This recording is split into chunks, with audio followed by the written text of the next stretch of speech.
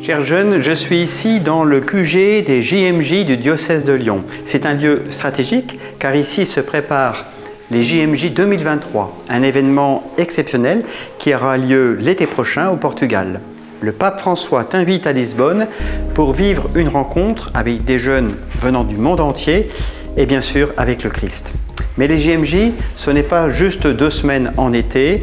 Les JMJ, c'est une aventure qui commence dès maintenant.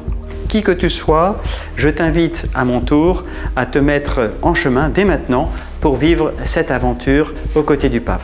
Première étape, ce dimanche 25 septembre, à la cathédrale Saint-Jean pour le festival Open Church. Je te donne rendez-vous à 15h à la cathédrale pour la messe de rentrée et surtout le lancement des JMJ 2023.